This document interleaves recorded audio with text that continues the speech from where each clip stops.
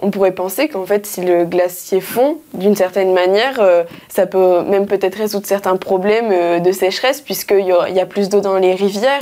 Comme les fleurs, comme les fleurs, comme les fleurs, je ne meurs pas, je fane comme... Aujourd'hui, effectivement, un glacier qui fond plus va amener probablement plus d'eau à la rivière. Mmh. Ceci dit, au bout d'un moment, quand un glacier devient de plus en plus petit, bah, il y a moins de choses à fondre. Donc il y aura moins d'eau. Par exemple, pour le glacier d'Argentière, qui est un gros glacier, euh, qui est encore un gros glacier, effectivement, ce qu'on a simulé, hein, ça s'appelle des simulations, des modèles, c'est que jusqu'en 2040, le débit, donc ce qu'on appelle l'arvéron hein, du glacier d'Argentière, c'est la petite rivière qui coule au front du glacier, le, le débit d'eau va augmenter jusqu'à à peu près 2040.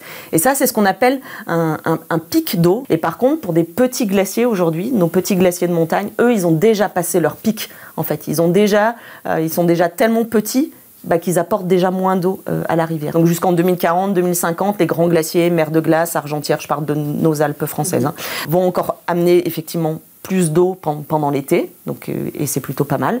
Et puis ensuite, bah, à cause de leur superficie et de leur volume de glace qui diminue, bah, il n'y a plus grand chose à fondre et il y en a de moins en moins à fondre jusqu'à ce qu'il n'y ait plus rien à fondre. Et du coup, effectivement, on observe une diminution du débit des rivières. Par contre, qui continuera toujours probablement euh, à neiger un peu ou à pleuvoir un peu. Donc il y aura quand même encore de l'eau dans la rivière.